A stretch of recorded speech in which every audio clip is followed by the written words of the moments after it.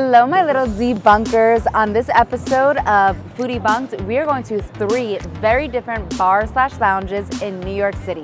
Each one of the places that we're going to have such different vibes. We're gonna see what are the must go to places this summer. Come along for the ride.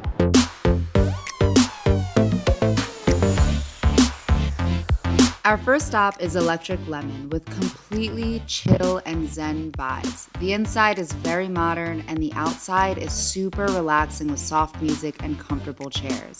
But first, if you're interested in New York City eats and drinks, make sure that you hit subscribe and follow for more. So we have a chocolate croissant. We have a regular croissant. They feel very light and fluffy. Pineapple tart and what seems to be like a, a scone cranberry scone. If I were to rate this 7 out of 10, it's like slightly warm, buttery, soft, but nothing like, oh my god, this was the best treats I've ever had in my life. I get fancy. Um, it's actually really hard to hold because it's, I guess it's a margarita. It didn't really say it was a margarita, but let's drink some. You can definitely taste the gin through. It has that like gin, gingery gin flavor where it's like a little like spicy and that non-spicy. I don't really know how to describe it. Like a little of that like whiskey sour type flavor to it, but not necessarily any watermelon coming through with it. It's good and it's growing on me. And these views definitely help the, the drink situation. Electric Lemon is definitely a vibe on the outside. The inside, not gonna lie, a little stale. It's cute, but it's just not it. The outside, the music is there, the furniture is adorable. You have this sculpture in the middle with the pond, and then you have beautiful buildings all around you with the water in the background. The only weird part is that you literally cannot look out the view too well because the whole perimeter is surrounded by barriers, so you can't go to the edge. So the vessel is literally right within eye's view, but you can't see it because you can't get close enough to the edge. Um, so you have to, you know, enjoy with a few little bushes in your way, but that's fine. I like the outside. Pastry's good, drinks good, outside vibe is cute. You know, get a little, get a little dressed up and enjoy. Our second spot is new. It's in Greenwich Village and it's called Bandits. It has extremely retro vibes on the outside and inside, but inside is the place to be. It is small, it is quaint, and it's definitely a vibe. Okay, so we are now inside this awesomely cute retro place. It's very small. Um, and they all are filled up with reservations, but somebody canceled their reservation. We've got a seat, which is super exciting. I was recommended the Lola Bunny, and inside of it is lemon juice, toasted cumin seed, carrot juice, parsley, rye, Angostura bitters, and they actually don't do the Scotch rinse anymore. Um, and I'm not a whiskey person, but the carrot juice was very intriguing, so, and it was also the suggested favorite, so let's try it. It's really good. So you get the whiskey flavor and the sweetness from the carrot juice also makes it very um, refreshing. And in my throat, I got some cumin seed flavor, which really balanced out the flavor but didn't overwhelmingly taste like cumin was in my mouth. It was just kind of like a really subtle flavor that peeked out at me and it's aesthetic. This is the halal cart tots and to say that this is halal cart tots is saying a lot because you know halal carts are the best in New York City so let's see. It's good. It doesn't taste like halal cart to me, but it is good. Like a very good crunch value. It's more, it gives me more salsa vibes than the halal cart hot sauce because halal cart hot sauce is hot and it's also a red sauce. But if you look at this, this looks a little bit more like a salsa to me. It does not taste like halal cart, but it's good.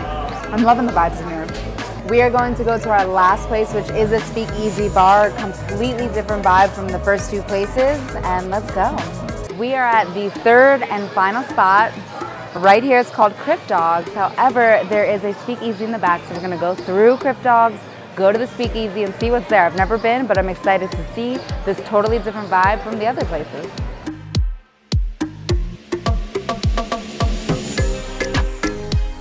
This is cool. We gotta dial the phone. I, oh, one moment, I'll be right with you. All right, thank you. This last and final spot is a speakeasy on St. Mark's. If you're looking to wow somebody with a secret spot, this is definitely the place to go. So this is a real speakeasy because I came inside and it looks normal and there's this like door that doesn't really look like a door. And I was like, I don't know where to go. So I went to the guy and he told me to go to this phone booth, go to the phone and dial one, and then they're gonna come. And a woman came, but they're busy right now, so I guess they're gonna let us in. Um, so let's wait in our little phone booth. We're waiting. The anticipation is building. I got a little sneak peek and like it looks cute in there. Little lounge couches, you know, a little vibe. So we're still waiting though for the, the secret lady to answer the secret door.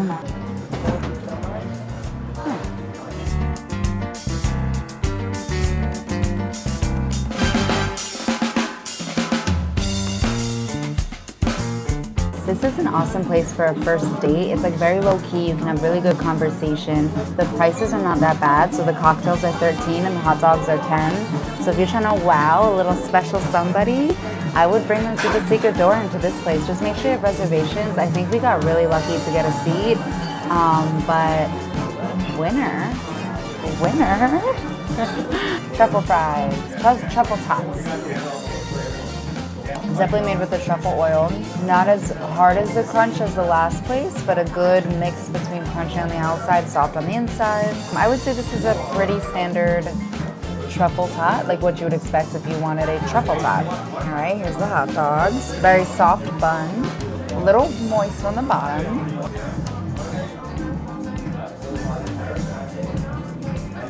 The quality of the hot dog is fantastic. The bun is delicious. The lemongrass really comes through and the country onions on the top.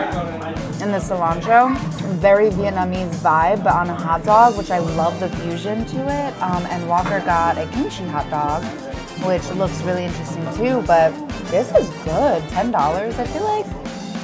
I don't know, because it's such a done up hot dog, I feel like that's really not a bad price. You get two for 20.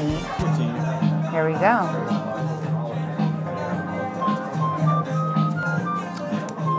Very, it's a strong alcoholic drink.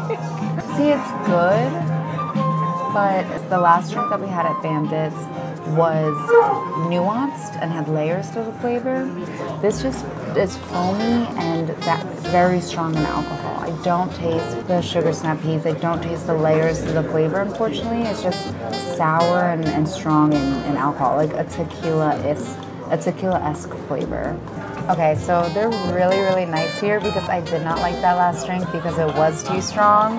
Um, but I was so excited by that split pea juice or whatever, so I tried it anyway. He gave me a new drink. It's called the Crypto, I think. It's the first one on the menu, and it's their like lightest drink. It smells really good. It's made with grapefruit juice, and it smells fresh. Yeah, that's better. Good. Yeah, it is a little sweet. So if you like sweeter drinks, it's not like a sour, bitter freshness, which I usually tend towards. It's sweet. It's like um, mimosa vibes, but like done up a little more. It's good. And that was all three bars slash lounges for today. They were all unique and they were all fantastic in their own special way. Make sure you follow and subscribe for more places to visit and to eat at, my little foodies.